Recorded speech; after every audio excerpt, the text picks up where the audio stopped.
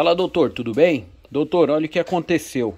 Não tem defeito nenhum aqui onde eu consertei da outra vez. Viu que eu troquei o o seisinho aqui, aqui não tem defeito. O problema tava aqui, ó.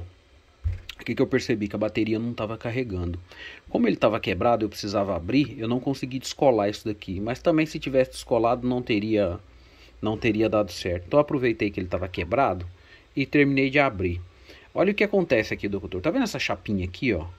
Essa chapinha aqui, ó, essas três. Quando ele é montado, olha lá, ó, lá no fundo tem uma chapinha, tá vendo? E aqui tem uma, duas, tem outras três que faz parte do circuito de carregamento. Mas o que que acontece? É, isso aqui é colocado aqui e ele é fechado. Só uma chapinha é soldada.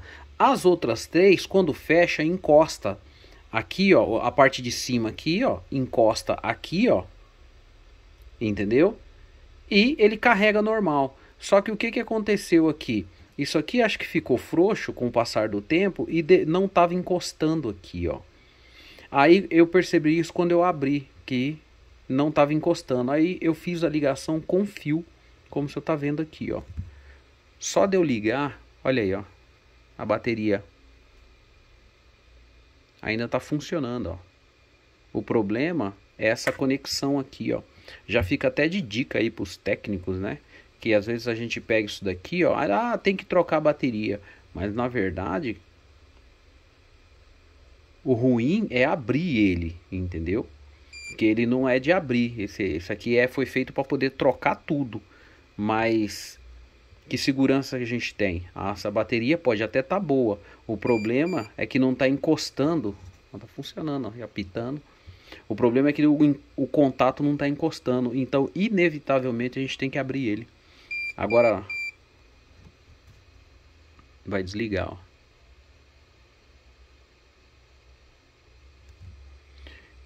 Inevitavelmente, vai desligar nada. Então, inevitavelmente, a gente tem que abrir ele para ter certeza que é, os contatos estão encostando, porque é, a bateria para de carregar, a gente acha que é algum defeito, quando na verdade não é. Na verdade é defeito, né? Mas não é defeito eletrônico. É só os contatos aqui que não estão encostando. Só que no caso do senhor aqui já estava quebrado. Agora, num aparelho que isso aqui não estiver quebrado, eu não sei como é que vai ser feito não.